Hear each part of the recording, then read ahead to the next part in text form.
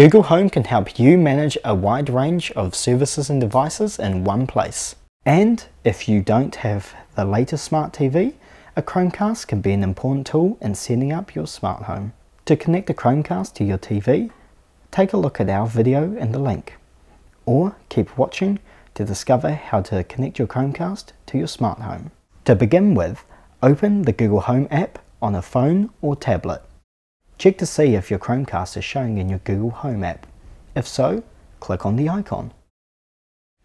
Go to Settings in the top right, choose Add to Home, and then follow the prompts. If your Chromecast is not showing in the list, tap the symbol in the center. Choose Set up Device and select New Devices. Next, choose the home you want to add our Google Home Smart Speaker Hub is called Home.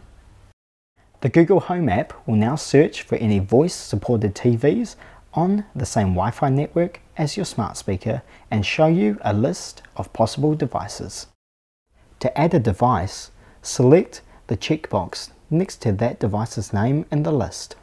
Once selected, you can see a list of all your connected devices on the homepage of your Google Home app. Follow the steps to allocate the TV with the linked Chromecast to a room in your home, or create a new room. We're calling our Chromecast Lounge TV.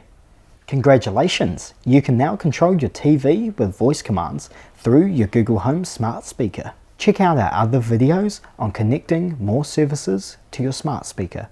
And don't forget to subscribe to our channel for more tech tips on setting up your smart home. Thank you.